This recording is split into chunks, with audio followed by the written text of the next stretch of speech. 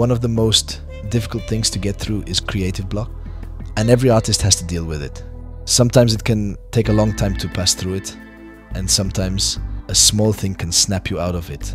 I have been struggling with it these last three weeks. I just wasn't in the mood to create something. And this bothered me so much because I had the time to draw, but my body, mind, or heart just wasn't into it. First, I took a step back, which didn't really work.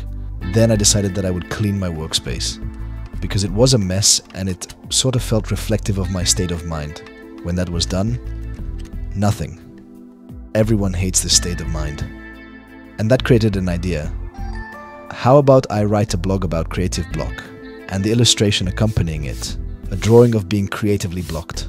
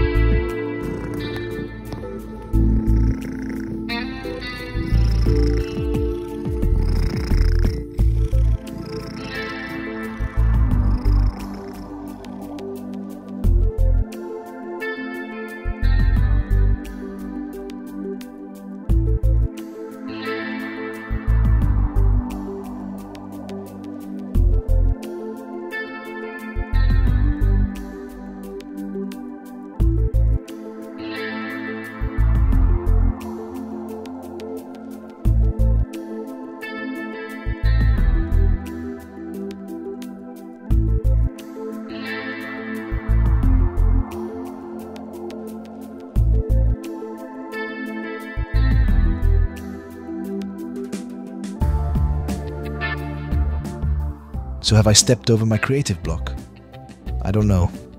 What I do know from this illustration is that I want to start experimenting with negative space. So, in a roundabout way, that is an answer because I am starting to have ideas, and that is the first step to being creative again.